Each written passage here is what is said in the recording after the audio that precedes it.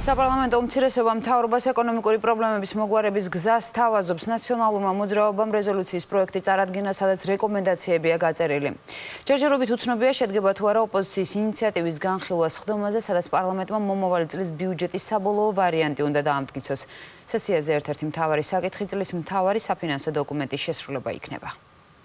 გაგრძელდება თუ არა ლარის კურსის ვარდნა მომდევნო თვეებში 2014 წლის ბიუჯეტის შესრულებაზე იქნება დამოკიდებული. მართველი კოალიცია პირობას დებს, რომ ეროვნული ვალუტის გაუფასურება აღარ გაგრძელდება, თუმცა ამავე დროს აცხადებს, რომ მიმდინარე წლის ბიუჯეტის შესრულებას პრობლემები არ შეექმნება. უნერგულობა მინდა უთხრა, რომ ყველაფერი ზომები მიღებულია, მიღებული იქნება კიდევაც და ყველაფერი იქნება წასული. რა ზომებია? რაზომებია მისაღები ამაზე დამატებითი განმარტება საფინანსო საბიუჯეტო კომიტეტის თავმჯდომარემ გააკეთა. დავით ონოფრიშვილი აცხადებს, რომ ლარის გაუფასურების თავიდან ასაცილებლად ბიუჯეტი მხოლოდ გეგმის მიხედვით უნდა დაიხარჯოს. თავისუფალი დემოკრატების წევრი 2014 წლის ბიუჯეტის ბოლომდე შესრულებას გამორიცხავს.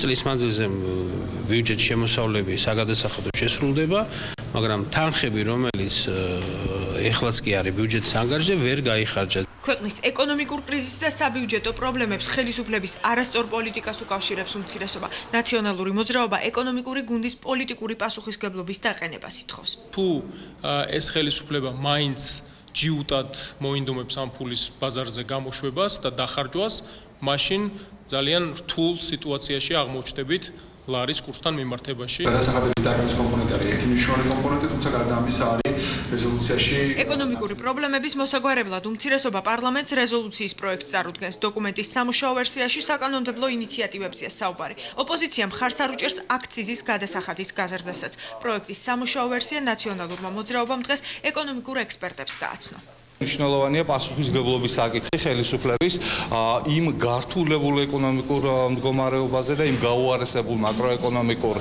ტრენდზე, რაც ქვეყანაშია. თავრობამ უარი უნდა თქვას წლის ბოლომდე უაზრო ხარჯებს და გაწიოს ხოლმე ისეთი ხარჯები, რომელიც არის აბსოლუტურად აუცილებელი, რომ ეს არ დააწეს კიდევ თვითონ ლარის კურსს. უმცირესობა ინიციატივას პარლამენტში ხვალ დაარეგისტრირებს მართულ კოალიციაში რეზოლუციის პროექტზე მსჯელობას არ გამორიცხავენ, თუმცა ოპოზიციის მოსაზრებებს არ იზიარებენ. არა აქვთ მათ ისეთი დადებითი გამოცდილება, რომლის ფონზეც ჩვენ ვიფიქრებდით, რომ მათ რჩევები იქნებოდა ჩვენი მთავრობისთვის სასარგებლო. ბიუჯეტზე მსჯელობა ამ კვირაში ქუთაისში გაგრძელდება. ქვეყნის მთავარ საფინანსო დოკუმენტზე დეპუტატების შეკითხვებს ფინანსთა მინისტრი უპასუხებს.